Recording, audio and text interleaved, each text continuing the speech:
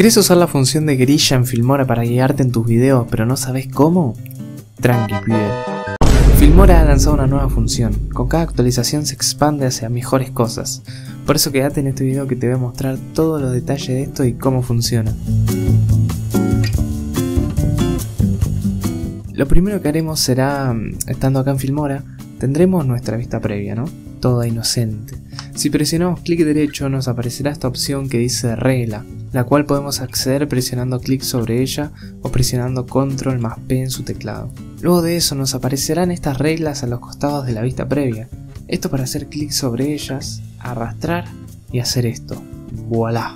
Estas son líneas guías, las cuales podemos mover y sacar cuantas queramos para poder dividir nuestra vista previa y guiarnos sobre ellas y conseguir simetría en nuestro espacio cuadrado, ¿no?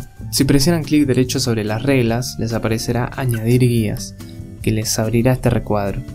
Podemos elegir si vertical, que sería de... Espere, espere, espere. Porque yo de toda la vida supe, y es realmente, que vertical es de arriba abajo y horizontal de derecha a izquierda o viceversa. Se ve que acá no es así, los de Filmora quieren que las cosas funcionen al revés o no sé, pero raro.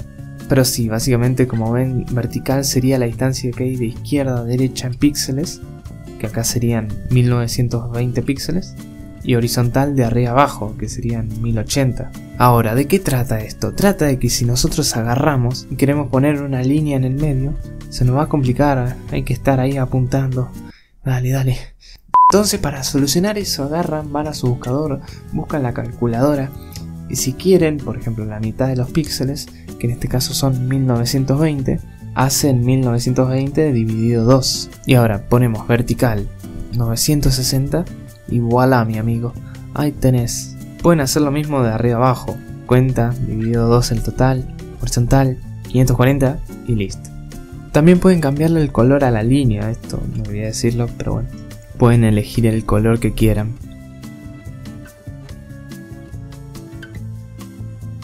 Y si quieren dividirlo por 3, lo hacen también.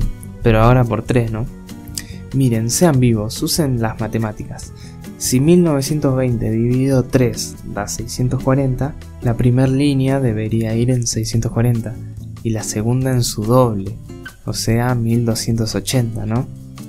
Me casan, me casan, me casan. Matemáticas básicas igual, eh. Matemáticas básicas. Luego de tener eso pueden obtener este resultado. Hermoso, bello. Y pueden hacer cosas locas como estas. Agarran colores sólidos y los ponen por encima de todos los cuadritos. Se le van a acomodar solos.